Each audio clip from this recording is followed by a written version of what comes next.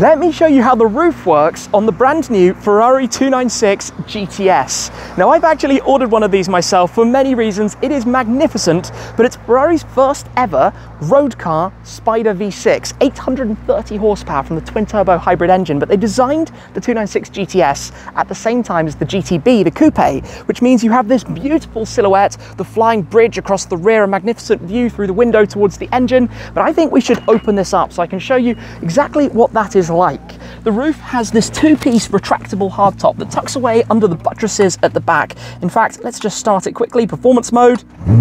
There we go, V6 into action. And then let me open this up, I pull up the switch so you can see exactly how this works. Driving up to 45 kilometers per hour, that's about 30 miles per hour. It will then fold away underneath that rear deck lid to open you to the elements for that wonderful Ferrari open top driving experience. All right, let's go.